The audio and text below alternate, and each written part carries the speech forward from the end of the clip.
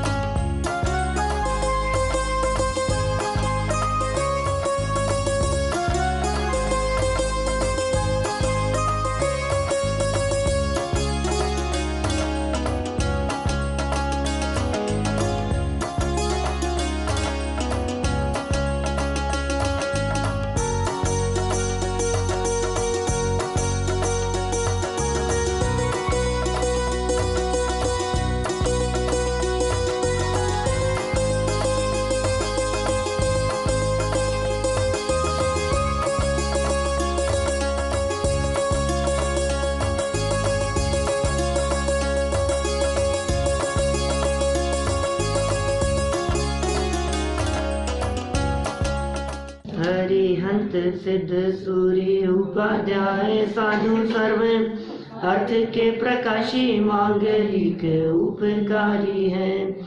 तिन को स्वरूप जाने राग ते भई जो भक्ति, काय को नमाए स्तुति को उचारी है। धन्य धन्य तिन ही ते काज सब आगे बढ़े कर जोड़े बारे बारे वंदना हमारी है। मंगल कल्याण सुख ऐसो हम चाहते हैं। ओ मेरी ऐसी दशा जैसी तुम धारी है। ओ मेरी ऐसी दशा जैसी तुम धारी है। ओ मेरी ऐसी दशा जैसी तुम धारी है। क्षत्र चूड़ामणि नामक इस ग्रंथ के आधार से अपनी यहाँ चर्चा चल रही थी। जगत के स्वरूप को यहाँ बतलाया जा रहा था। दो बालिकाएँ, गुणमाला और दूसरी सुरमंजरी।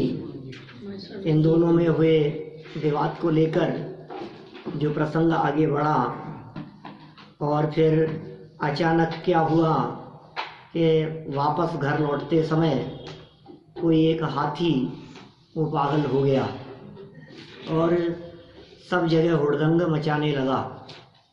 तो जो वसंत उत्सव का मेला लगा हुआ था, उस वसंत उत्सव के मेले में गुणमाला को सभी लोग छोड़कर इधर उधर भाग गए। उसके नौकर चाकर भी, उसके परिजन लोग भी। इस बात को यहाँ बताते हुए जगत की स्वार्थ वृत्ति को यहाँ बतलाया गया था कि ये जगत कितना स्वार्थी है। इस स्वार्थी जगत में कोई किसी का साथ नहीं देता। नौकर चाकर आदि भी ये सब साथ छोड़ देते हैं। इसलिए वास्तव में तो तत्व ज्ञान का विचार ही शांति और समाधान देने वाला है, वही सहायक है। जगत में कोई शरण नहीं है। जगत के इस स्वार्थी स्वरूप का विचार करके भी यदि ये जीव धर्म मार्ग में न लगे तो इसका सच्चा अर्थ यह समझना चाहिए कि इसने स्वार्थी जगत के स्वरूप का विचार किया ही नहीं है। मोह हावी है। हमने ऐसी भी चर्चा की थी कि जिनके ज्ञान हावी होता है, चित्त में उनका मोह नष्ट हो जाता है। और जिनका मोह हावी होता है वे ज्ञान शून्य हो जाते हैं। ये सब चर्चाएँ पीछे यहाँ हमारे पंचकल्याणक में जाने के पहले यहाँ चली थी। वहाँ भी गौर झामर में हुआ पंचकल्याणक रोज़ाना प्रवचन भी हुए और बहुत सुंदर आयोजन रहा वहाँ का। देखिए पुण्य पाप कर्म के पुण्य पाप कर्म के उदय की विचित्रताओं को यहाँ बता रहे हैं। 227 नंबर पेज से हम बात को आगे बढ़ाते हैं। धाय की सच्ची स्वामी भक्त। यहाँ से 31 नंबर का यह श्लोक है। कृत्वा तां पृष्ठतो धात्री काचिदस्थाद्यावहम् हतायां मय्यतः पूर्वं कन्येयं हन्यतामिति। कोई धाय इससे पहले मेरे हत हो जाने पर पश्चात इस कन्या को मारना यह कहकर और गुणमाला को पीछे कर दया भाव से खड़ी हो गई। धाय थी वहाँ स्वामी भक्त थी धाय तो हम जानते ही हैं इतिहास में, पन्ना धाय प्रसिद्ध है हमारे यहाँ राजस्थान की। जो माँ के ना होने पर बच्चे का पालन पोषण करे, वो धाय। तो वो धाय ने गुणमाला को तो पीछे किया, है, और स्वयं आगे हो गई कि यदि मरना ही है तो गुणमाला के पहले मैं मरूँगी, और उसके बाद में वो उसका कुछ होगा जो होगा। इसलिए नहीं। एक स्वामी भक्त धाय ने गुणमाला की रक्षा के लिए अनुपम धैर्य और साहस का परिचय दिया। वह ये कहती हुई कि हाथी सबसे पहले मुझे मारेगा फिर इस कन्या गुणवाला को। गुणवाला को अपने पीछे छिपाकर बड़े धैर्य और साहस के साथ खड़ी हो गई। देखो आप। ये ऐसी हिम्मत। ये कह रहे हैं, मित्र का सच्चा स्वरूप है। ऐसा कौन सच्चा मित्र है कि जो ऐसी कठिन परिस्थिति में, प्रतिकूल परिस्थितियों में साथ छोड़ करके न भागे? जो साथ देवे, वो मित्र। और जो साथ छोड़ देवे, वो मित्र नहीं है। और फिर और जो कुछ भी हो, मित्र तो नहीं है। सम दुख सुखा एव बंधवो हत्र बांधवा। दूता एव द्वंद्व काले परामुखा निश्चय से इस संसार में समान है दुख और सुख जिसके ऐसे बंधु ही मित्र कहलाते हैं। और जो विपत्ति काल में साथ छोड़कर दूर भाग जाते हैं वे यम के दूत ही हैं। यम के दूत हम क्या कहें? ये नीतिकारों की नीतियाँ हैं। ये जैन आचार्यों के माध्यम से ये नीतिकारों की इस नीति को यहाँ प्रस्तुत किया गया है। ये कह रहे हैं ये संसार में जो जिनके सुख दुख समान हैं वो मित्र हैं। ये मित्रत्व का लक्षण है। आपके दुख में दुखी और आपके सुख में सुखी वो मित्र वो आपका मित्र। माने समानता जहाँ दिखाई देवे, वो मित्रत्व का लक्षण है। और जहाँ समानता न होवे, वो कैसे मित्र? वो तो शत्रुवती है। और शत्रु क्या है? इन्होंने साफ़ साफ़ कह दिया यहाँ, यम के दूत हैं। कृतांतस्य दूतः एव, कृतांतस्य, कृतांत कहते हैं, कृत अंत किए हुए का सबका अंत कर देने वाले, कृतांतस्य, उसका अंत कर देने वाले कौन? यमराज। और दूता उसके दूत हैं। माने मानो यमराज के समान ही। है अरे हमारे संकट काल में जो हमारा साथ न देवे, वो हमारा कैसा? हमारी विपत्ति में जो हमारा सहयोग न करे, वो कैसा हमारा? देखिए सरल अर्थ सुख में सुखी और दुख में दुखी होने वाले साधर्मी ही सच्चे मित्र और बंधु हैं। मित्र भी हैं, बंधु भी हैं। आपत्ति आ जाने पर साथ छोड़कर भाग जाने वाले लोग तो मानो साक्षात यम के ही दूत हैं। विशेषार्थ, मदोन्मत्त हाथी द्वारा मारे जाने के भय से लोग आपत्ति के काल में गुणमाला को अकेला छोड़कर भाग गए। वे यम के दूत के समान ही हैं। जिस धाय ने अपने प्राणों की परवाह न करते हुए गुणमाला की, रक्षा की, वह वास्तव में सच्ची धाय, साधर्मी, मित्र, बंधु, जो कुछ भी कहो, वह सिद्ध होती है। ऐसे प्रसंगों पर ही शत्रु और मित्र की सच्ची पहचान होती है। मैंने, ये तो जगत में प्रसिद्ध है बात कि संकट के काल में ही आदमी की परीक्षा होती है। जब तक अच्छा अच्छा चल रहा है, तब तक तो सब साथ देते हैं। लेकिन जैसे ही संकट काल आया, तब कौन लोग आपके साथ में खड़े हैं? विपत्ति के काल में जो आपके साथ में खड़ा हुआ हो, वो आपका सच्चा साथी है, वो आपका मित्र है। और परीक्षा ऐसे ही समय पर होती है। देखो, धनवान, वैभव संपन्न लोगों के आसपास में घूमते हुए तो बहुत लोग दिखते हैं। लेकिन वो संपन्नता चली जाए, तब कितने लोग साथ हैं, ये बताओ। किसी व्यक्ति के पास में पद और प्रतिष्ठा है तो आगे पीछे घूमने वाले लोग बहुत होते हैं। और फिर जब वो पद छिन जाए या ना रहे तो कितने लोग साथ खड़े होते हैं? वो ही साथ खड़े होंगे जो सच्चे साथी थे। बाकी सब भाग जाएँगे। ये जगत का स्वरूप ही इसी तरह का है। घर में, परिवार में आस पड़ोस में, अपने परिवारजनों में, सब में इस बात को देखा जा सकता है कि जब हमारे ऊपर किसी तरह की कोई विपत्ति आई तो कौन साथ खड़ा था? और सच कहूँ तो जगत के किसी व्यक्ति के साथ देने की अपेक्षा तो होती ही नहीं है ज्ञानियों को क्योंकि उनको सच्चा साथ देने वाला अपना स्वरूप दिखाई देता है। उन्हें सच्चा साथ देने वाला अपना आत्म स्वरूप दिखता है। वो साथी है जो प्रत्येक परिस्थिति में अपने उपयोग को स्थिर रख रखाता है। अपने चित्त की चंचलता को रोकता है। अपने आकुलता को मिटाने में सहयोगी बनता है। वो सच्चा मित्र है ना? बाकी तो ये पर्याय और परिस्थितियाँ, ये सब तो प्रतिकूल ही है। ये हमारे मित्र कैसे हो सकते? क्योंकि ये कोई भी साथ देने में समर्थ नहीं है। मैं आपसे पूछता हूँ, अनुकूलताएँ भी बहुत हो। अभी व्यक्ति की बात मत करो। अभी परिस्थिति की भी बात करो। व्यक्तियों में तो मित्र शत्रु खोजते हैं हम, लेकिन परिस्थितियाँ भी तो ऐसी होती हैं जो परिस्थितियाँ आपको मोक्ष मार्ग में कदम बढ़ाने से रोकने वाली हो। यदि वे परिस्थितियाँ रोकने वाली हैं, तब तो यम के दूत के समान हैं ही।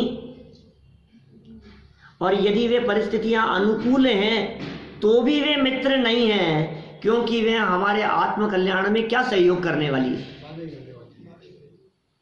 तो इसलिए उन उन परिस्थितियों से दृष्टि हटाएँ, और जो सच्चा मित्र अपना अनंत गुण संपदा स्वरूप स्वभाव इस देह देवालय में विराजमान है उसका अवलंबन लेवें तो सच्ची पहचान होगी ये मित्र और शत्रु की सच्ची पहचान की चर्चा की है यहाँ। पाप का उदय हुआ तो सब भाग गए पुण्य का उदय हुआ तो हाँ। पुण्य पाप कर्म के उदय जन्य है परिस्थिति। ये कही थी पीछे दो श्लोक पीछे यही तो बात कही थी। कर्म का उदय शुभ अशुभ। बिल्कुल उदय अपना ही है। इसलिए अपने ही उदय का विचार करके ज्ञानी जीव शांत रहते हैं। जीवंदर कुमार द्वारा गुणवाला की रक्षा। स्वामी परिणतं वीक्ष्य करिणं तं न्यवारयत्। स्वापदं न हि पश्यन्ति, सन्तः परार्थ तत्पराः। देखिए, जीवंदर कुमार ने दांतों के से प्रहार करते हुए उस हाथी को देखकर हटा दिया। निश्चय से दूसरे मनुष्यों के उपकार करने में तत्पर सज्जन पुरुष अपनी आपत्ति को नहीं देखते। ये गुणवाला को बचाने के लिए बीच में जीवंदर आ गए धाय का तो जो हुआ होगा, सो हुआ होगा। हो सकता है धार धाय को उठा के फेंक दिया हाथी ने। अब कौन आ गया? अब अब तो बारी थी गुणवाला के ऊपर संकट आने की। तो उस समय तत्काल जीवंदर कुमार आ गए और जीवंदर कुमार ने स्वयं के हित को और हित अहित का विचार न करते हुए उसकी रक्षा के लिए मानो हाथी के उन दांतों को पकड़कर उसका मुख घुमा दिया। दांतों से लिखा है दांतों होता से होता नहीं नहीं नहीं दांतों से प्रहार करते हुए हाथी की चर्चा कर रहे हैं। दांतों से प्रहार करते हुए हाथी को। उस हाथी को।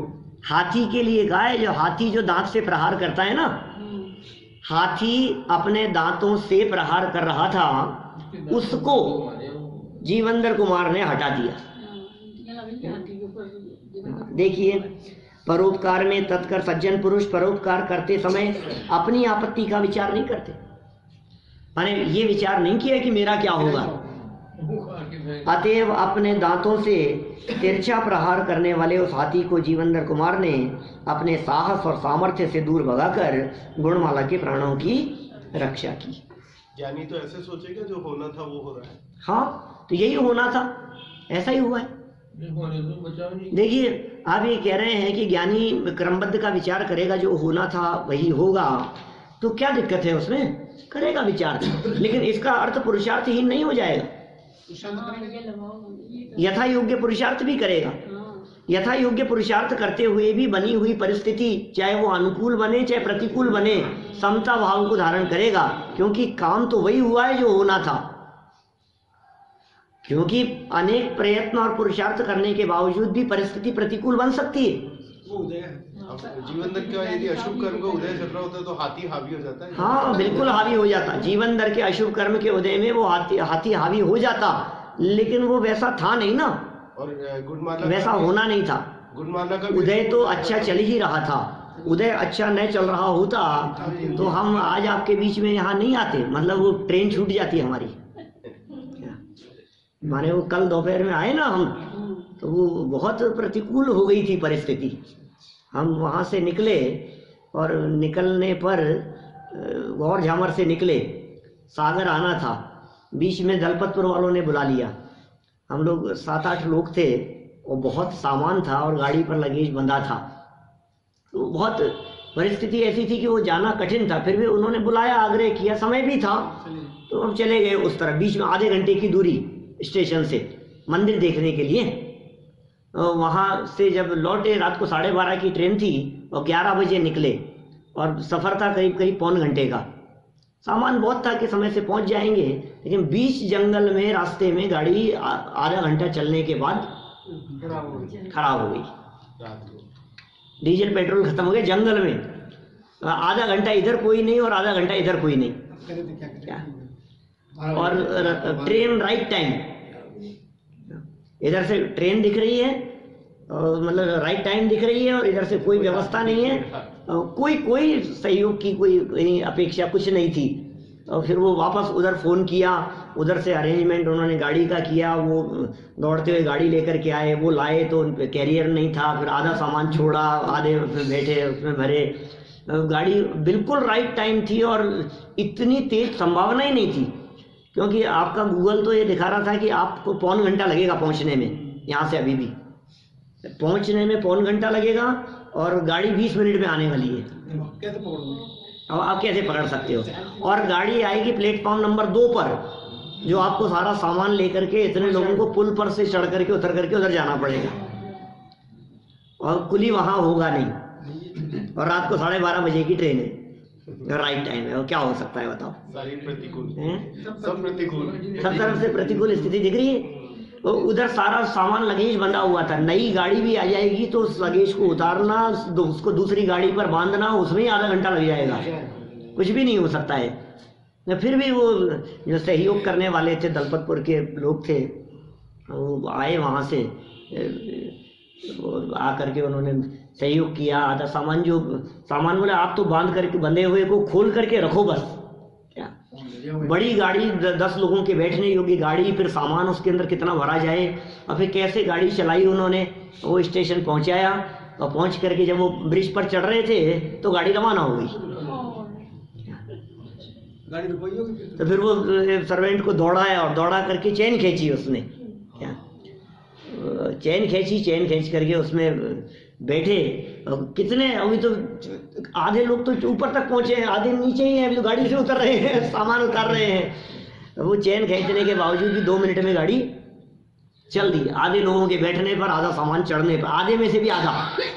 गाड़ी नहीं रुकी चैन के बाद रुकी। दो मिनट। दो मिनट रुकी चलती हुई गाड़ी को रोकी पहले फिर चैन खींचने के बाद में फिर बैठे आधे लोग चढ़े आधा सामान सामने जो डिब्बा दिखा उसी में टिकट थे एसी के। और बैठे उसमें। सामने जो दिख रहा था। और फिर चल गई, चलते चलते, फिर दोबारा चैन खींची। और फिर सब बैठ गए, बैठ के आ गए वो जहाँ जो डब्बा था ना सामने एस सेवन सेकेंड एसी के टिकट थे, बीच में बंद रहता है, वो रात को साढ़े बारह, पौन बज गया था। वो आधा एक घंटा वहाँ खड़े रहे। फिर उसके बाद में वो टी सी आया, बीच में दरवाज़ा उसने खोला। और फिर क्या हुआ? फिर समस्या ये हो गई कि हमारे पास जो टिकट था, मेरा और वाइफ का जो टिकट था दो महीने पहले हुआ था। वेटिंग वन और टू था दो महीने पहले। उन्होंने विकल्प ही नहीं किया कि वो क्लियर भी नहीं हुआ होगा।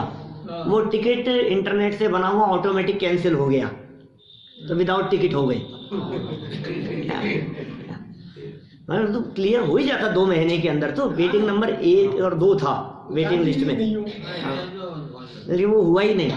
बोले, ये तो कैंसिल हो गया और इसका रिफंड अपने आप पहुँच जाएगा आपके अकाउंट में और ये आपके पास तो टिकट ही नहीं है। बिना टिकट आए हैं तो जो भी हुआ जैसा भी, फिर वो मिल गई ट्रेन भी मिल गई बैठ भी गए सीट भी मिल गई टिकट भी बन गया और आ भी गए। और यदि वो ट्रेन नहीं मिलती, क्या? तो कल तो आते ही नहीं। दोपहर में जो कल पहुँचे यहाँ वो तो पहुँच ही नहीं सकते थे। नेक्स्ट ट्रेन और नहीं नेक्स्ट ट्रेन भी कौन सी मिलती? आठ लोगों के टिकट नहीं मिलते। तत्काल में रिजर्वेशन नहीं होता। फिर कल रात को होता फिर आज दोपहर में आते और फिर सब वो कहाँ रहते और कहाँ जाते और क्या होता और सब जो भी स्थिति बनती। लेकिन इतना पाप का उदय नहीं था। वो ऐसी बननी थी परिस्थिति। हाँ? वो सब जो भी हुआ जैसी भी परिस्थिति सब। लेकिन वो उससे तो अच्छा था मतलब वो वहाँ यदि वो निकल जाती तो कुछ नहीं हो सकता था। फिर तो रात को एक बजे आप कुछ भी नहीं कर सकते थे। फिर तो वो ले जाते साधन में लोग कहाँ फिर एक घंटे दूरी पर वो ले जाते लेकिन वो भी आ गए दे गए सब कहाँ से? हाँ। रात को एक रात को ढाई बजे पहुँचे फिर वो अपने घर छोड़ करके। कुली नहीं था सहयोग करने वाले नहीं थे तो कोई भी गाड़ी जो भी बनी परिस्थिति। अपनी नहीं दस सीटर गाड़ी कहाँ किसके पास मिलेगी? कौन सी रात को बारह बजे? वो गाँव छोटा सा। उस गाँव में कोई नहीं। फिर वो पड़ोसी सामने, मंदिर के सामने कोई रहता था, किसी का कोई मकान था, वहाँ से किसी की गाड़ी मांगी, फिर पूछी, हमसे आप कौन सी गाड़ी में है? कितने लोग हैं? और कितना सामान है? वो, आ जाएगा कि नहीं आ जाएगा? वो सब परिस्थितियाँ, दो ढाई घंटे का जो मैटर था, वो बड़ा ऐसा संकल्प विकल्पों में भी था। लेकिन हम ये कह रहे हैं, अब ज्ञानी जीव ऐसे समय में क्या करेगा बोलो जाएगा कि नहीं जाएगा कि ये सोच करके बैठ जाएगा ये क्रमबद्ध में होगा जो होगा व्यवस्था करना है कि नहीं करना? बात तो ये चल रही है। तो पूरा करेगा वो फिर उड़ा नहीं नहीं नहीं करे। तो ट्रेन ट्रेन चलती हुई दिखाई दे रही है तो दौड़ करके बैठें कि नहीं बैठेंगे ये विचार करें कि अब मिलेगी जो मिल जाएगी। तो करना पड़ेगा। बोलो क्रमबद्ध का कैसे विचार करें? हाँ इतना प्रयास करने के बावजूद भी यदि ट्रेन चली ही जाती तो फिर इस बात का विचार करते कि ऐसा ही भगवान के ज्ञान में झलक रहा था। नहीं मिली तो नहीं मिली कोई बात नहीं। तो शांति से रहते उसमें आकुलता नहीं करते। टेंशन नहीं करते। वो तो चैन खे पहली बार चल दी चैन खींची तब तो हम ऊपर थे पुलिया पर। हम पुलिया पर थे वो पुलिया के पीछे थे। हाँ, आधे लोग। चैन खींच तो किसी भैया गया फिर हाँ सर्वेंट था एक साथ में। वो दौड़ गया होगा उसको दौड़ करके कहा तो चलती ट्रेन में जा करके और चैन खींच दे। नहीं? वो एक बार खींच दी फिर दो मिनट से ज़्यादा रुकती नहीं है उसमें। और तब तक तो कितने लोग पहुँच पाते? छोटे छोटे बच्चे भी थे साथ में। दो छोटे बच्चे थे साथ में। तो ये ऐसी बनती है परिस्थिति। ये तो आपने इतना प्रश्न पूछा कि भाई ज्ञानी जीव तो शांत रहेगा, ज्ञानी जीव क्यों करेगा? अब वो गुणमाला मरती तो मर जाती। अब वो तो जीवनदर कुमार तो ज्ञानी थे। ये जीवनदर कुमार काय को बीच में आ गए? ज़बरदस्ती जो होता हो जाता। अरे, कैसी बात कर रहे हो आप? ऐसा कैसे हो जाता? ज्ञानी का अर्थ क्रमबद्ध पर श्रद्धा करना इतना मात्र नहीं है जीव रक्षा भी करेगा। यथा योग्य जो पुरुषार्थ का भाव आएगा, सो पुरुषार्थ भी होगा। और ज्ञानी जी उस पुरुषार्थ के काल में भी इस बात को जानते हैं कि ये पुरुषार्थ भी क्रमबद्ध है और अनेक पुरुषार्थ करने के बावजूद भी भवितव्यतानुसार जो होना है, वो भी भगवान के ज्ञान में झलक रहा है। हम किसी परिस्थिति में परिवर्तन नहीं कर सकते। माने इस वजह से रुक गई कि वो आ गए इस वजह से मिल गई कि हमारे पुण्य का उदय था। इस वजह से ट्रेन मिल गई कि उसने दौड़ करके चैन खींच दी। ये सारी बातें तो कहना हो सो कहो, लेकिन काम तो वही हुआ है जो भगवान के ज्ञान में झलक रहा था और जो होना था। अब उसमें पाँच समवाय मिलते हैं, अनेक कारण होते हैं। उनका निमित्त बनना था, इनका उदय होना था, इनकी ऐसी परिस्थिति बननी थी। सबका उदय इस तरह का था, योग इस तरह का था। आधे सामान को वहाँ रुकना था, वो परमाणुओं का सबका स्वतंत्र परिणमन था? वो उस अनजान गाड़ी के अंदर ऐसा आधा सामान सब में आधा आधा सामान सबका छूट गया वहाँ। अब वो सामान अब वो आज कोई लेकर के वहाँ से रवाना होगा फिर वो कल आएगा सामान ऐसा जो जैसा। मैंने एक एक उद्गल परमाणु की भी स्वतंत्र योग्यता है अपनी। कौन सा परमाणु कब कहाँ से कहाँ कितना कैसा परिणमन करेगा? ये उसकी भी योग्यता पर निर्भर करता है। ये आपके हाथ में नहीं है? माने ये बहुत सहज है भाई ये स्थिति। ज्ञानियों को हृदय में वो सहजता होती है। अभी जीवंदर कुमार की भी यही सहजता थी। होगा जो हो जाएगा। यदि प्राण निकलने का काल आ ही गया होगा तो निकल जाएँगे। और यही तो विचार किया था पीछे सेठ ने भी। क्या नाम था सेठ का? गंधोत्कट नहीं?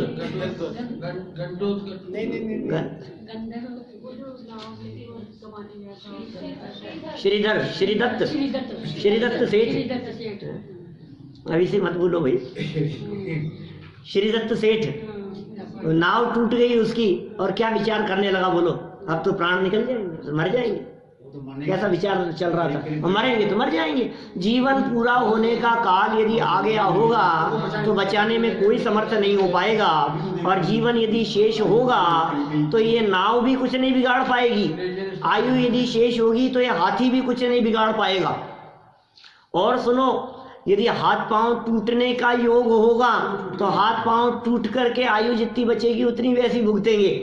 लेकिन भाई बात तो ऐसी है हाथ पाँव टूटे, चाहे जीवन पूरा हो, ज्ञानियों के हृदय में परोपकार की भावना तो सर्वोपरि रहती है।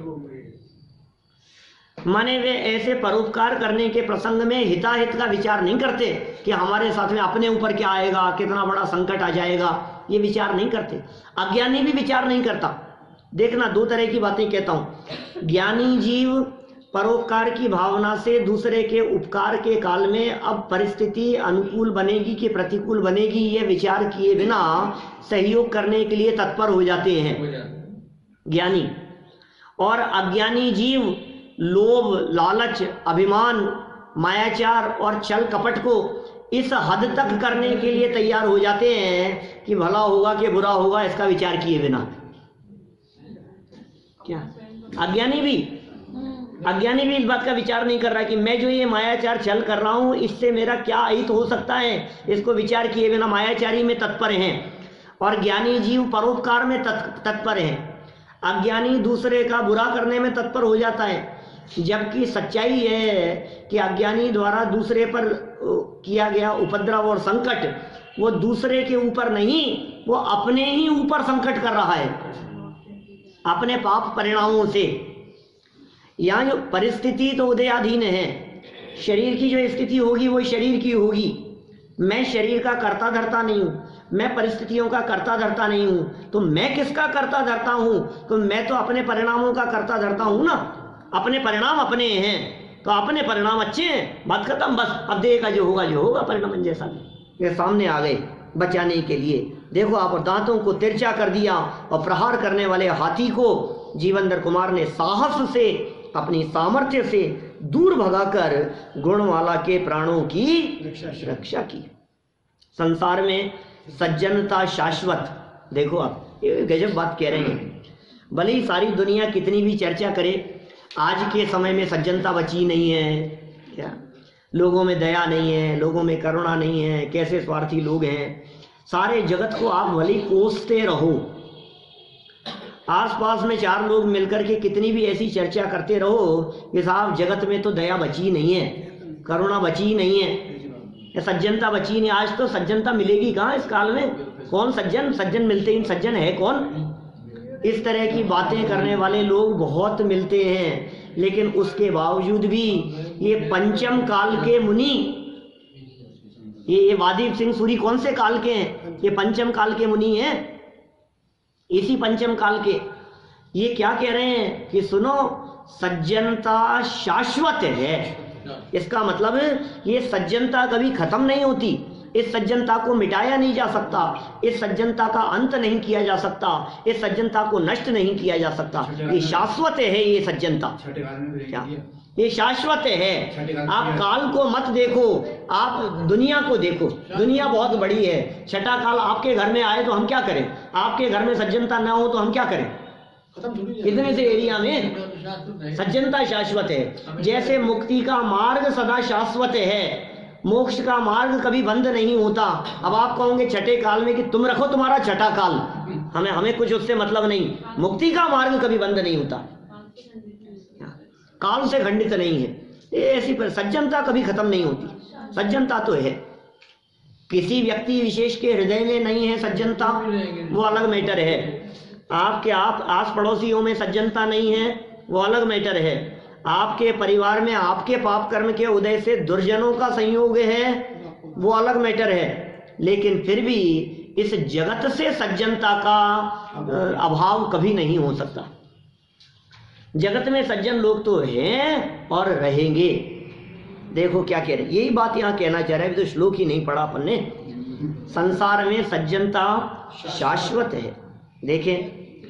यत्र क्वापि संत्येव संत है सार्वगुणोदया क्वचित किमपि सौजन्यम नोचे लोक कुतो भवेत। निश्चय से सबके हित के लिए ही है। गुणों की उत्पत्ति जिसमें ऐसे सज्जन पुरुष कहीं कहीं पर विद्यमान ही हैं। कहीं कहीं पर तो होंगे। कहीं भी मिल जाएँगे आपको सज्जन पुरुष। सर्वत्र तो नहीं है। साधु वो नहीं सर्वत्र। चंदनम हमने बने बने। साधु सज्जन पुरुष सभी जगह तो नहीं है, लेकिन हैं। दुनिया से सज्जनों का अंत नहीं हो सकता। कितने भी दुर्जन हावी हो जावे, कितना भी कलकी का काल क्यों न आ जावे, कितने भी बड़ा से बड़ा संकट की परिस्थितियाँ क्यों न आ जावे, महामारी, रोग, दुर्भिक्ष, समझ लो आप, ऐसा प्रलय काल आ गया, जिसका ऐसे ऐसे ऐसे लोग हो गए जो नरसंहार करने वाले हों इंसानों को जानवरों की तरह कुचल देने वाले हों, ऐसी परिस्थितियों में भी कहीं न कहीं सज्जनता लोगों के हृदय में होती ही है। देखो, कौन है सज्जन? उसकी भी परिभाषा बतला दी। निश्चय से सबके हित के लिए ही है गुण की उत्पत्ति जिनमें, सबके भले के लिए ही जिनके हृदय में गुण की उत्पत्ति है। ऐसे सज्जन पुरुष कहीं कहीं पर विद्यमान ही हैं कहीं कहीं पर रहते ही हैं वे सज्जन पुरुष। यदि कहीं पर कुछ भी सज्जनता ना हो तो फिर संसार कैसे चलेगा? लोक है कुतः भवेत? लोक है कुतः भवेत? संसार नहीं चलेगा। अरे भाई, आप क्या कहना चाहते हो? इस संसार से यदि सज्जनता चले गई तो फिर दुनिया कैसे चलेगी? आप गंभीरता से विचार करो, सज्जन माने साधु पुरुष नहीं होंगे तो मोक्ष मार्ग कैसे होगा? मोक्ष मार्ग नहीं होगा तो मोक्ष कैसे होगा? तो मोक्ष भी नहीं, मोक्ष मार्ग भी नहीं, ऐसा तो कभी नहीं हो सकता। इस धरातल पर, इस मध्य लोक में, मनुष्य गति के जीवों में सात सौ करोड़ सम्यक दृष्टि तो रहते हैं। ये सम्यक दृष्टियों की संख्या है। चतुर्थ गुणस्थानवर्तियों की। तेरह करोड़ पंचम गुणस्थानवर्तियों की संख्या बनी रहेगी। सात सौ करोड़ चौथे गुणस्थान वाले, तेरह करोड़ पाँचवें गुणस्थान वाले तो वे सब सज्जन ही तो हैं। तो सज्जन क्यों नहीं होंगे? सज्जनों की सज्जनता तो सदा काल विद्यमान रहेगी, हमारे आसपास हो चाहे ना हो। यदि सज्जन न रहेंगे तो संसार कैसे चलेगा? देखिए सरल अर्थ, संसार में सभी हितकारी गुणों से युक्त सज्जन पुरुष कहीं न कहीं अवश्य होते ही हैं। क्योंकि जगत में कहीं पर कुछ भी सज्जनता ना हो, ऐसा होता ही नहीं है। अरे, देखो, एक और बात समझना है इसमें। कोई व्यक्ति कितना भी दुर्जन हो, उसमें भी सज्जनता के अंश मौजूद हैं। कितना भी क्रूर से क्रूर व्यक्ति क्यों नहीं हो तो भी उसमें कहीं ना कहीं किसी अंश में सज्जनता के अवयव होंगे ही होंगे। अंश मात्र ही सही। यदि संसार में कहीं सज्जनता न रहेगी तो सज्जनों की सत्ता भी नहीं रहेगी।